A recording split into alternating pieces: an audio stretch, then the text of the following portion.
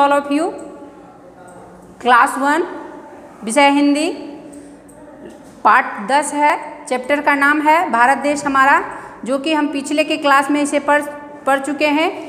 तो इसे हम बोले थे कि जितने भी शब्दार्थ हैं, उसे आप याद करके आएँगे और जितना भी हार्ड वर्ड लिख दिए थे, उसे तीन तीन बार सी डब्ल्यू में करेंगे।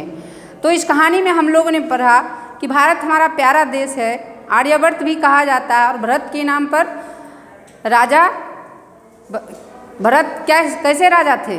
वीर और योग, उसी के नाम पर वह सिंह के दांत को गिना करते थे। तो ये कहानी को पढ़ते हुए हम जो है प्रश्न उत्तर करवाने जाए। तो पेज नंबर छियालीस निकालिए, जांचिए, परखिए, दिया गया है आपके बुक में। ये आपका है टेक्स्ट बुक। पेज नंबर छियालीस। निकालिए। इसे हम प्रश्न उत्तर करवा रहे हैं। आप क्वेश्चन से प्रश्न उतारते जाइए, उत्तर भी लिखते जाइए। तो पहला नंबर है उत्तर दीजिए, क। हमारे देश का नाम भारत, हमारे देश का नाम भारत कैसे पड़ा? तो भारत के नाम पर देश का नाम भारत पड़ा। इसे हम अगर लॉन्ग आंसर में देंगे तो भरत नाम के एक वीर और योग राजा हुए। भरत के नाम पर इस देश का नाम भारत कहलाया। इस तरह से हम इसे डिटेल कर सकते हैं, लेकिन यहाँ एक लाइन में उत्तर देना है। हमारे देश के उत्तर में क्या है? तो हमारा देश के उत्तर में क्या है? हिमालय। तीसरा नंबर है, भारत देश की किन्हीं तीन नदियाँ एवं तीन महापुरुष का नाम लिखिए। तो तो हमारे देश में तीन नदियाँ, बहुत सारी नदियाँ हैं, लेकिन तीन नदियाँ जो है, उसका नाम यहाँ हम दे रहे हैं, और तीन महापुरुष। तो गंगा, यमुना सतलुज, नर्मदा, ताप्ती, गोदावरी, यहाँ बहुत सारा है आपके टेक्स्ट बुक में। लेकिन तीन यहाँ लिखे गंगा, यमुना, नर्मदा। और तीन महापुरुष जो हैं राम कृष्ण अशोक। तो बहुत सारे महापुरुष भी हैं तो तीन महापुरुष दिए हैं, रामकृष्ण अकबर। इस तरह से आपका गौतक हो गया। भारत के निवासी कैसा व्यवहार करते हैं? तो शांति और प्रेम का। अगर डिटेल से लिखना होगा तो आप लिखिएगा, भारत के निवासी शांति और प्रेम का व्यवहार करते हैं। तो ये आपका पहला नंबर का क्वेश्चन आंसर कंप्लीट हो गया। अब दूसरा नंबर है, नीचे लिखे शब्दों से खाली स्थान भरिए। आपका ऑप्शन जो है उससे चुनिए और उसे भरिए। तो भारत के दक्षिण में क्या है? हिंद महासागर, रामकृष्ण अशोक, अकबर आदि ने यहाँ क्या किया? राज किया। डैश भर दीजिएगा इस तरह से। ये आपका है। शांति और प्रेम का घोका है।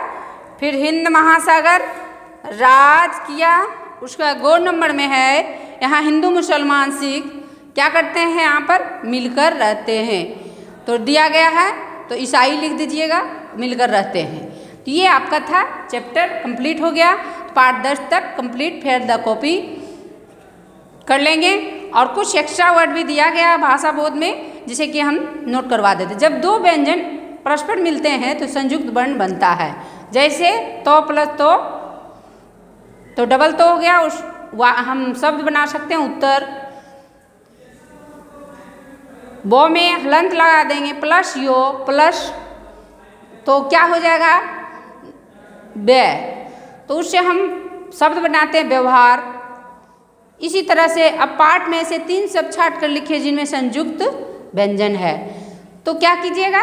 पूरा पाठ को पढ़िए उससे आप तीन संयुक्त वर्ग को, संयुक्त व्यंजन को लिखिए। उचित स्थान पर अनुस्वार दीजिए। यहाँ विवेकानंद, शांति, हिंदू, दांत, नदियाँ। शब्दों के अर्थ लिखिए। योग है तो काबिल हो जाएगा। महापुरुष है तो पुरुषों में महान हो गया। व्यवहार है तो आपका बर्ताव हो गया, निवासी है तो रहने वाले हो गए। ठीक शब्द पर सही शब्द का निशान लगाइए। आपको दिया गया है नदियाँ तो हर्षिकार वाला होगा सही। फिर बुध, बोहरसुकार, दो धो संयुक्त आ, जो दो हलंत, धो दिया वो सही है।